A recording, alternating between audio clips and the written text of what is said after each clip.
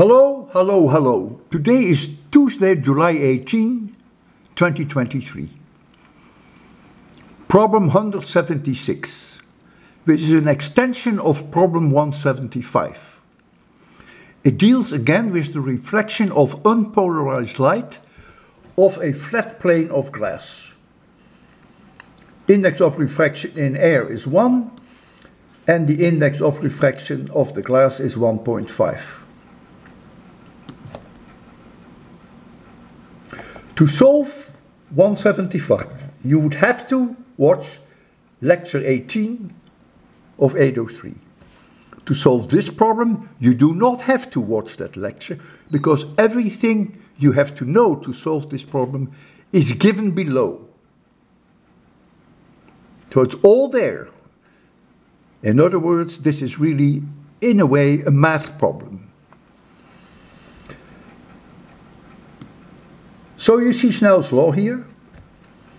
In case of an unpolarized light beam, we must decompose the associated electric field into two components, one parallel to the incidence plane and one perpendicular to it. And so here you see the Fresnel equations.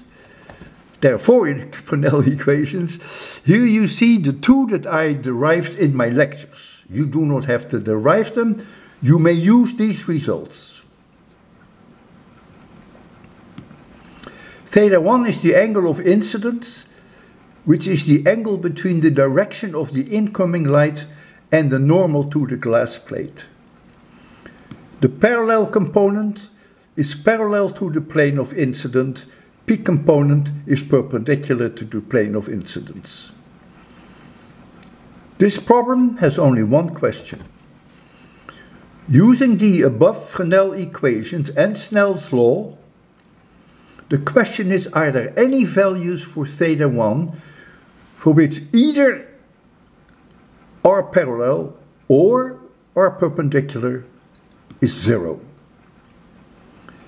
If there are such values, that means that after reflection the light is 100% linearly polarized which is remarkable. And you could then produce near 100% linearly polarized light at home. Isn't that wonderful? All right.